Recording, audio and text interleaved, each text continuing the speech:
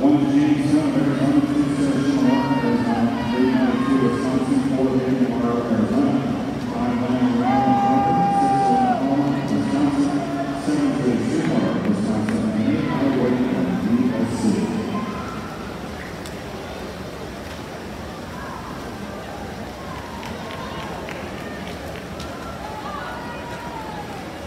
Santa Maria leads the way at fifty-two point two eight. And this is Green Water, Central Overpay.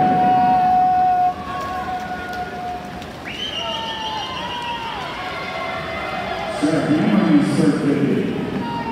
Trying to set us all up for a good finish down the of cities that lay behind and reel in. Moving up, Alana Wisconsin, with a lot of from his third as well. Building all the way through that division, moving to the second. Twenty-seven,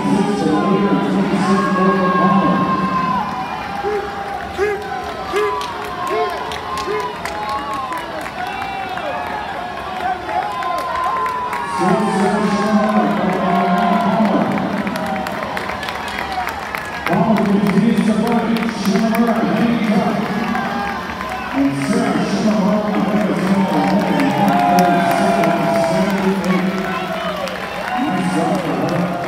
Navarro,